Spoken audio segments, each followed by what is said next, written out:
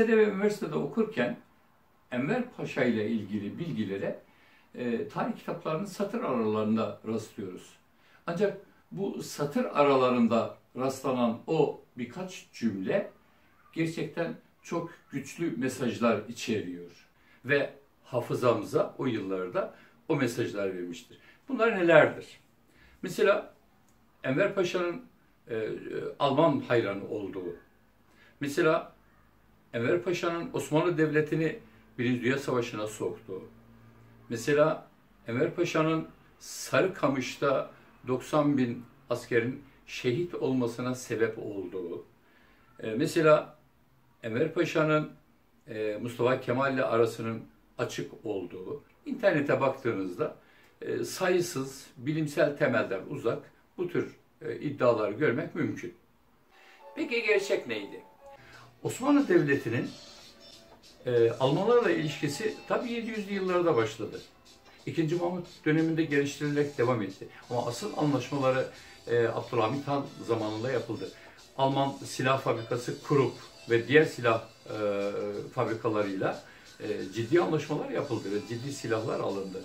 Dolayısıyla Enver Paşa e, Almanya ile bir ilişki başlatmadı. Var olan ilişkiyi devam ettirdiler. Almanlarla ilişkiyi başlatan Enver Paşa değil, Abdülhamit Han'dır. Ve Enver Paşa bu sistem içerisinde doğmuş, büyümüş, asker okulda okumuştur. Osmanlı Devleti'ni Enver Paşa mı Birinci Dünya Savaşı'na soktu? Bu e, sorunun cevabı da çok açık. Bir defa Osmanlı Devleti'nin Birinci Dünya Savaşı'na girmeme gibi bir şansı yoktu. Çünkü e, paylaşılmak istenen Osmanlı topraklarıydı. Ondan önce e, Rusya ile anlaşmaya e, teklif edildi. Kabul etmediler.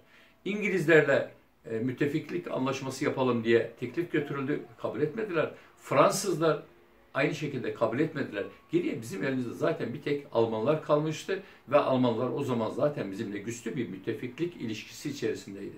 Dolayısıyla Birinci Dünya Savaşı'na Osmanlı Devleti'nin girmeme gibi bir şansı yoktu.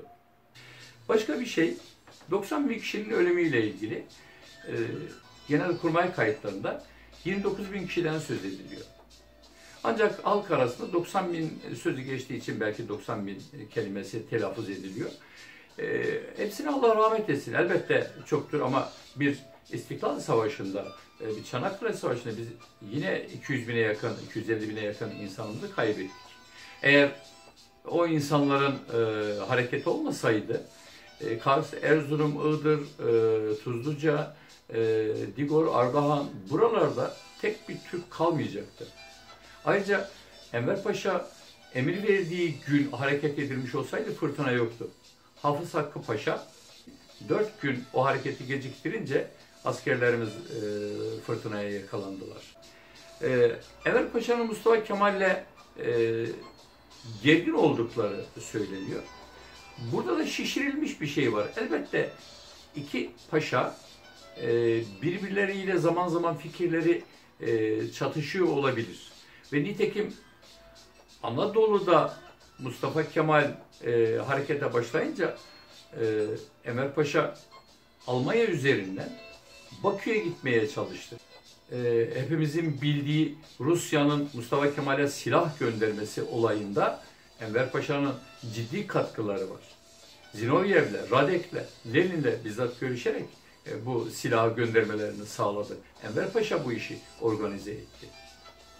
E, Mustafa Kemal'le e, zaman zaman mektuplaştıkları vardır ama asla karşı değillerdir.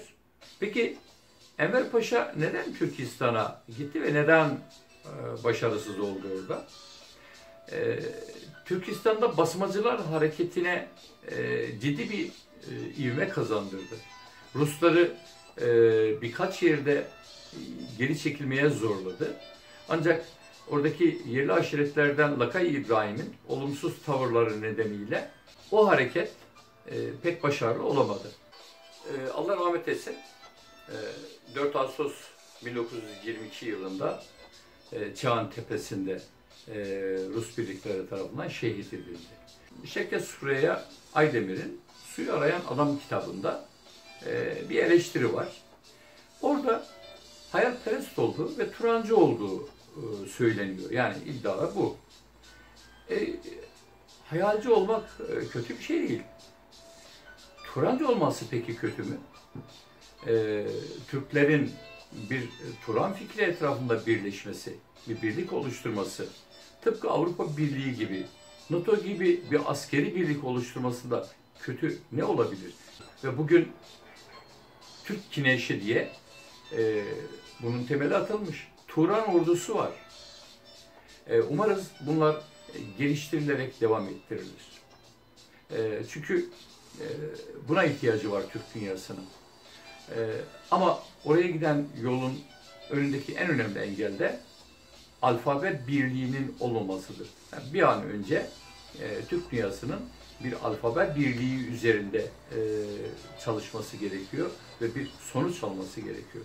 Bu olursa Turan'a giden yol daha kolay açılacaktır. Turan ırkçılık değildir. Turan Türklerin siyasi, ekonomik ve askeri işbirliklerinin oluşturduğu bir birliğin adıdır. Enver Paşa'ya Allah rahmet eylesin.